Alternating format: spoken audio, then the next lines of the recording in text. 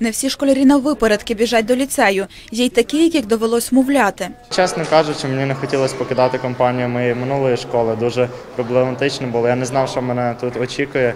Але після того, як я пішов, я дуже швидко зрозумів, що я зробив правильний вибір.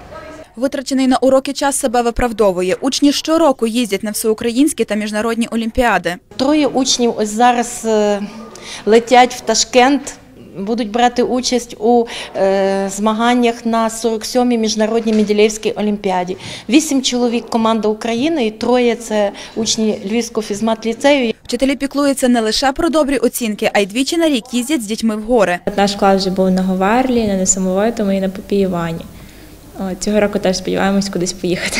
Школярі запевняють, навчання відпочинкові не заважає. Так, я займаюся кікбоксингом. Також е, ми тут зробив команду волейбольну. Ми граємо з вчителями, деколи полюбляємо грати. У фізико-математичному ліцеї навчаються не лише львів'яни. Сюди вступають і діти з області, і навіть інших регіонів України.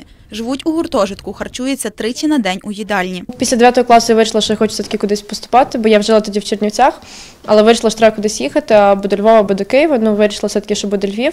І на 10-11 клас перейшла сюди, ну, бо все-таки фізико-математичний ліцей, один з найкращих. Освіта у ліцеї дозволяє не лише вигравати олімпіади, а й згодом працювати за кордоном. На жаль, ми маємо той недолік, що дуже багато наших дітей працює або працює за кордон, пишучи програми і представляючи вже ті компанії, які ті програми потім продають за кордоном, або потім працюють там чи то професорами, чи е, якимись асистентами, чи е, іншими, чи викладачами в університетах е, за кордоном. Нагадаємо, до 50 найкращих шкіл України увійшли чотири львівські гімназії: фізико-математичний ліцей, гімназія імені Симоненка, класична та лінгвістична гімназії. Ірина Андрейців, Андрій Пеленьо. Головні новини Львова.